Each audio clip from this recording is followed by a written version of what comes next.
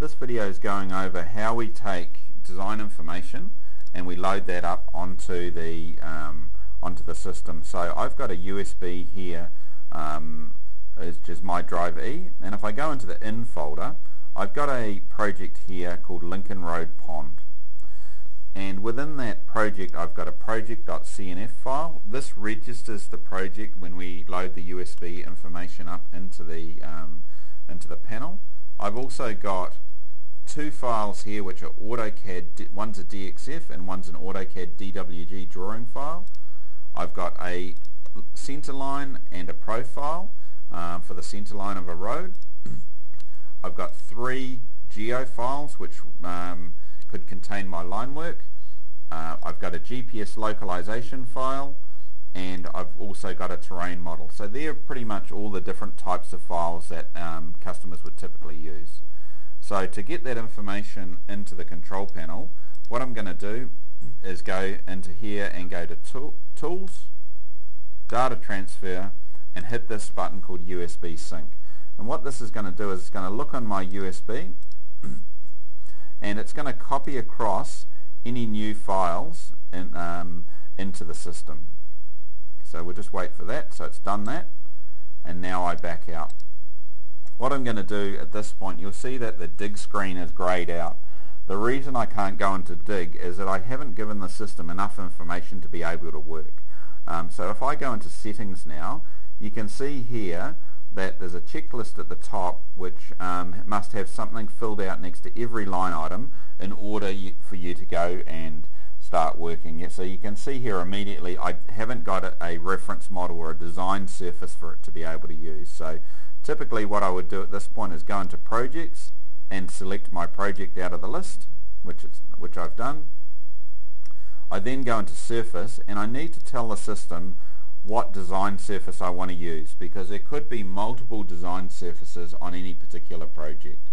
So at this point what I do is I select my file and I hit the spanner and then I make sure I turn the triangles off because I don't like seeing the triangles all over the screen um, when I'm in the digging screen. I've also got in my job a centerline file so I'm going to turn that on and what that's going to do is give me my chainages and my offsets. If you want to use the preview reference files, it'll show the, um, the design data on the screen for you as well. The other thing I'm going to do at this point is go into this thing here called Help Models.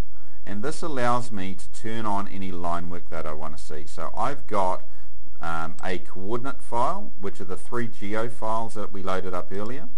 Um, and I'm going to select this one as the one that I want to use. It's option 34B and to use it all I do is of the three files I just want to use this one so I'm just going to turn that one on and it highlights it green down here and you'll see it's copied it up into the active models here at the top.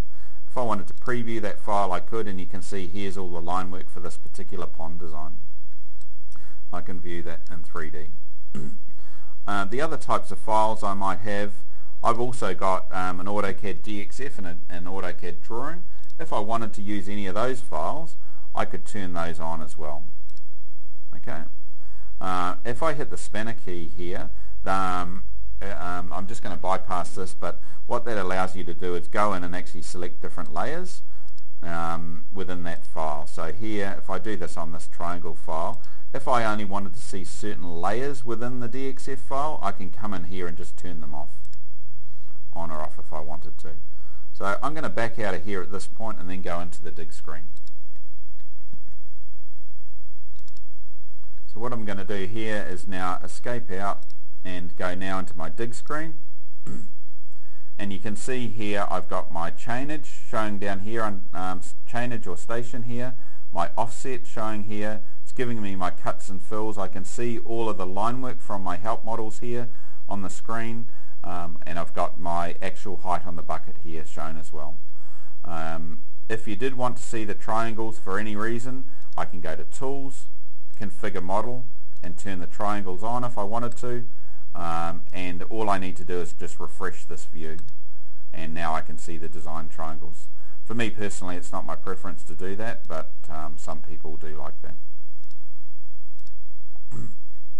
So whenever you turn the triangles on or off, you do need to refresh this view.